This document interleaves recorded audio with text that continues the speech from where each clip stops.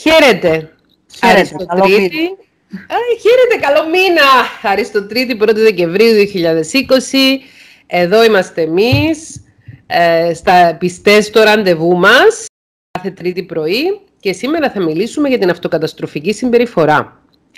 Έχω εδώ πέρα συγκεκριμένο ερώτημα ε, χαίρετε. Παρακολουθώ τα βίντεο σας από την Άνοιξη και για να είμαι πιο ειλικρινής είναι ότι πιο θεραπευτικός στις προκλήσεις που βιώνουμε. Ευχαριστούμε πολύ. Γι' αυτό το λόγο ανακουφιζόμενοι όταν σας αναλύω ένα προβληματισμό θα ήθελα να θίξω ένα ζήτημα που θεωρώ περισσότερο σπουδαίο από οποιοδήποτε προβληματισμό στην αλληλεπίδραση μας με τους άλλους ανθρώπους και αφορά την αλληλεπίδρασή μας με τον εαυτό μας.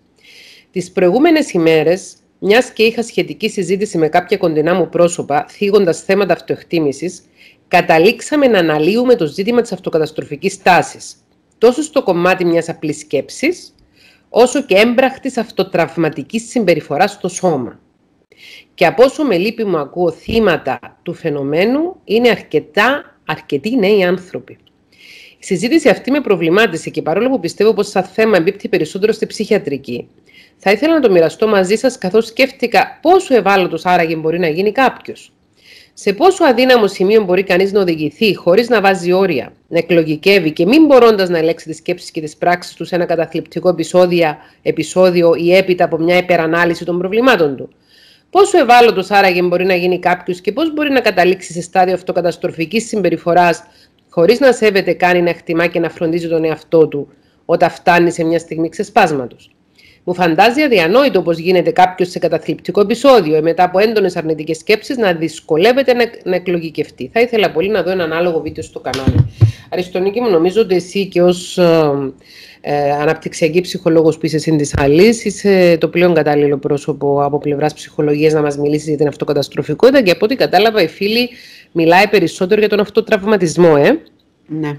Παιδιά τα οποία χαρακτηρίζουν τα χέρια να πούμε καταρχήν τι είναι η αυτοκαταστροφικότητα, έτσι για να διασαφηνίσουμε καταρχήν τον όρο.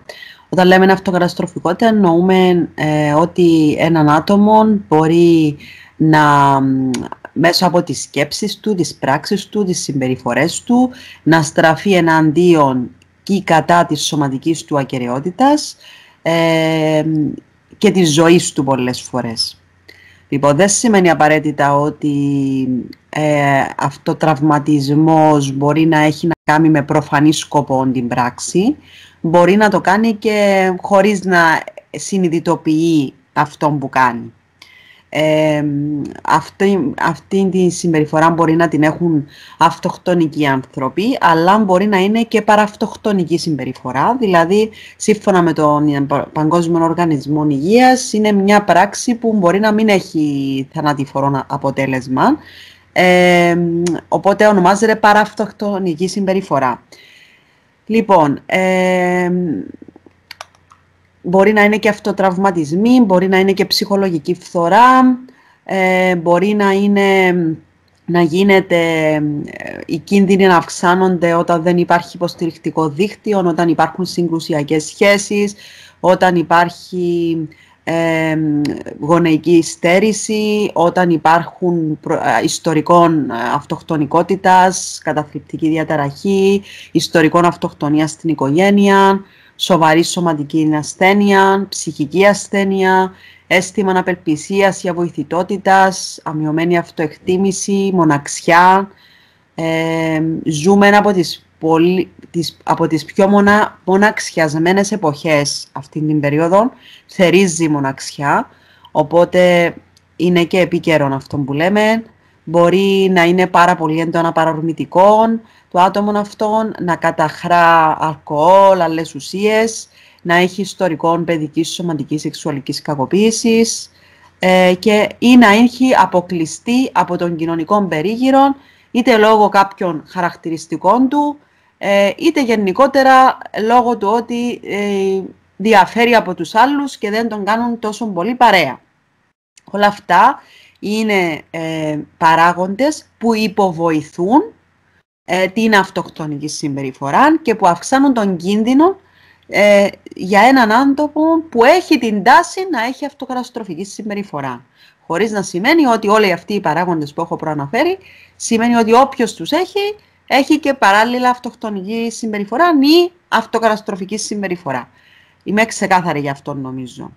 Λοιπόν, τώρα, ένας άνθρωπος που έχει την τάση να αυτοκαταστρέφεται, συνήθως είναι έναν άτομο που μπορεί να κλείνεται στον εαυτό του, να απομονώνεται, να δυσκολεύεται στις σχέσεις του με την οικογένεια του, με τους φίλους του, να χάνει το ενδιαφέρον του για δραστηριότητες που πριν τον ευχαριστούσαν, να το βλέπουμε ότι είναι πολύ θλιμμένος, ανήσυχος, να έχει έτσι μια διάχυτη νευρικότητα, να είναι συνέχεια σε πανικό ή να έχει κρίσεις πανικού συχνές, να πέφτει η απόδοσή του στη δουλειά, στο σχολείο, να γίνεται απεσιόδοξος, ευερέθιστος, απαθής, να μην τον ενδιαφέρει τίποτε από ό,τι τον ενδιαφέρει συνήθως, να μιλάει για το θάνατο ή για την αυτοκτονία, να αλλάζει τις διατροφικές του συνήθειες, να αλλάζει τις συνήθειες του ύπνου του, να αισθάνεται ενοχές.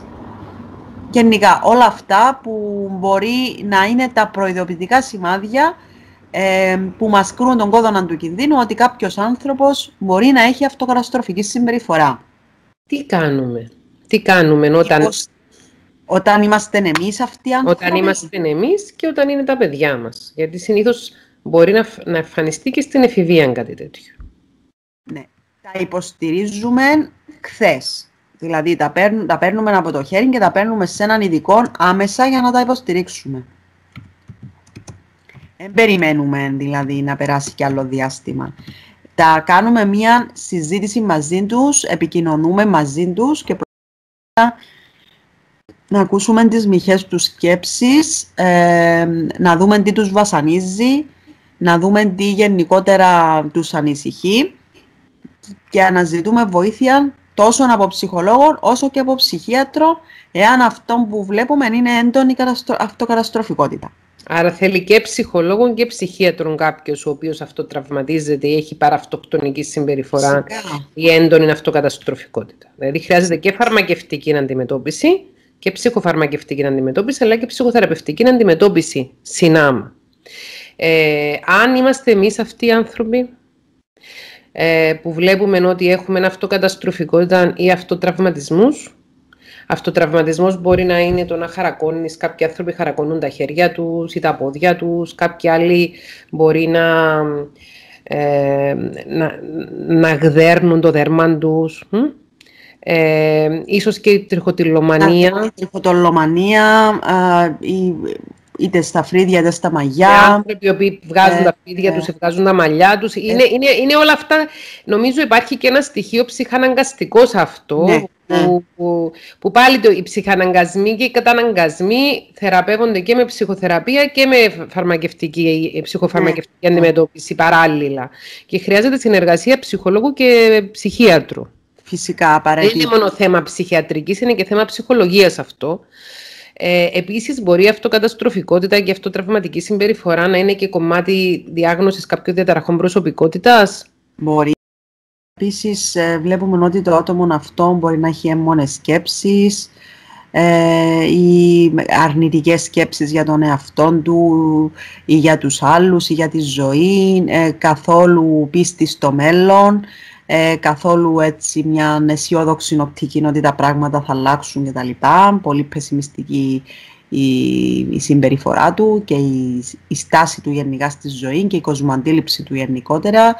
Ε, και υπάρχει έτσι μια παρέτηση, μια ματέωση από όλα αυτά που συμβαίνουν με αποτέλεσμα να, να έχει έντονο, έντονο το στοιχείο της απελπισίας αυτός ο άνθρωπος. Όπως πολύ σωστά το έχει εντοπίσει η φίλη στο, στο email που έστειλε, είναι ότι αυτή η συμπεριφορά συνδέεται με την κατάθλιψη και την παρέτηση όπως έχεις πει εσύ. Και επίσης υπάρχει και ένα στοιχείο εθιστικό. Του στείλω ότι κάθε φορά που νιώθω πόνο, εάν πρόκειται για αυτό το τραυματισμό, νιώθω μία πρόσκαιρη ικανοποίηση, σαν ένα χάι, το οποίο μετά πέφτει και πρέπει να ξανανιώσω πόνο και να ξανανιώσω πόνο και να ξανανιώσω πόνο. Ε, δεν δεν είναι συμπεριφορές αυτές τις οποίες κάποιος μπορεί να τις αντιγράψει ακούγοντας αυτό το βίντεο. Δηλαδή είναι συμπεριφορές οι οποίες γίνονται αυθόρμητα, γίνονται αισθηκτοδός και υποδεικνύουν, δείχνουν ότι υπάρχει ε, ψυχοπαθολογία στο, στο background του ανθρώπου. Δηλαδή, μπορεί ένας άνθρωπος να μην το έχει συνειδητοποιήσει ότι έχει κατάθλιψη, να μην το έχει συνειδητοποιήσει ότι έχει κάποια ψυχική διαταραχή, αν όμως βρίσκει τον εαυτό του να τσιμπιέται σε σημείο που να κάνει πληγές στο δέρμα του, να βγάζει τα μαλλιά του, να βγάζει τα φρύδια του ή να χαρακώνεται ή να κάνει άλλες συμπεριφορές οι οποίες είναι αυτοτραυματικές, παραυτοκτονικές ή να σκέφτεται να έχει αυτοκτονικούς ιδεασμούς κτλ. Πρέπει οπωσδήποτε να πάει σε ψυχολόγο και ψυχίατρο. Οπωσδήποτε. Ναι, Είναι κάτι που θεραπεύεται, φτάνει να έχει θεραπεία, φτάνει να ζητήσει ο άνθρωπος θεραπεία. Ε, είναι κάτι που θεραπεύεται, ε, να το εντοπίσει έγκαιρα και να κάνει εντατική ψυχοθεραπεία και σε συνεργασία με τον γιατρό του και με τον ψυχολόγο του θα πάνε όλα καλά, εάν συνεργαστεί όλα καλά θα πάνε. Επίσης θέλω να πω κάτι ευθαρρυντικό, ότι υπάρχουν αρκετοί έφηβοι και νεαροί ενήλικες που έχουν τέτοιες συμπεριφορές, οι οποίοι έχουν βοηθηθεί πάρα πολύ από το συνδυασμό ψυχοθεραπείας και αντικαταθλιπτικής θεραπείας. Επίσης, να πούμε ότι η αυτοκαταστροφική συμπεριφορά μπορεί να γίνεται ε, και με άλλους τρόπους. Ας πούμε, ε, πάρα πολύ επικίνδυνη οδηγητική συμπεριφορά ε, τάση να, να, να, μεθάει ο άλλος και μετά να, να πηγαίνει δουλειά ή να κολυμπάει ή να κάνει επικίνδυνα σπορ σε σημείο που να είναι πολύ επικίνδυνο όμως, όχι με, χωρίς να παίρνει μέτρα ασφαλείας. Ε, ή να κάνει πράγματα τα οποία είναι ε, επικίνδυνα, ας πούμε να περπατάει στη μέση του δρόμου, να περπατάει έξω χωρίς να είναι... Η αλήθεια να λέγεται ναι. Όλοι από εμάς όσοι έχουμε περάσει κατάθλιψη σε κάποια φάση της ζωής μας είχαμε τέτοιες συμπεριφορές. Δηλαδή, ας μην το δαιμονοποιούμε κιόλας ότι είναι κάτι πολύ σπάνιο να συμβεί κάτι πολύ φοβερό. Δεν καθόλου σπάνιο. Καθόλου σπάνιο. Μπορεί όλοι μας ε, αναφάση που ζούμε να περάσουμε από μια τέτοια διαδικασία και γι' αυτό ναι, δεν, το, δεν λέμε ρε παιδί μου ότι είναι είναι περίεργο ή παράξενο ή σπάνιο ή οτιδήποτε. Ωστόσο, όταν το, τα λέμε για να τα εντοπίσουμε, γιατί πολλές φορές μπορεί κανείς ας πούμε, να οδηγάει με σπασμένο χέρι ή σπασμένο πόδι και να μην, να μην αντιληφθεί ότι αυτό το πράγμα που κάνει είναι αυτοκαταστροφική συμπεριφορά ή να οδηγάει και να μιλάει στο τηλέφωνο και να χωρίς, χωρίς να κρατάει το τιμόνι και να μην αντιλαμβάνεται ότι αυτό το πράγμα δεν, δεν έχει πλάκα, είναι μια εντελώς αυτοκαταστροφική, ανεύθυνη συμπεριφορά που μπορεί να, του, να, να στερήσει τη ζωή τη δική του και άλλων συνανθρώπων του. Και γι' αυτόν το λέω, για να το τονίσω ότι πολύ συχνά το βλέπουμε, αλλά από κάτω μπορεί να ελοχεύει μια έντονη ψυχανα, ε, ψυχαναγκαστική αυτοκαταστροφική συμπεριφορά. Ναι. Ε, και μπορεί όλοι μας κάποια στιγμή να είμαστε υποψήφοι προς αυτήν την κατεύθυνση και το λέμε για να το υπογραμμίσουμε, τόσο ώστε όσοι άνθρωποι που μας ακούν ε, αναγνωρίσουν τον εαυτό τους σε αυτές τις καταστάσεις που προαναφέραμε, δεν το λέμε για να τους ε, πανικοβάλλουμε, να τους ανησυχήσουμε, αλλά για να, να το πάρουν σε ψυχοθεραπεία και να αυτοφροντιστούν, ούτως ώστε να σταματήσει αυτό να τους, ε, να τους βασανίζει. Take it to therapy, λοιπόν. Θα το πάρουμε στη θεραπεία. Ευχαριστούμε πολύ. Καλημέρα σε όλους. Καλημέρα. Γεια σας. Γεια σας.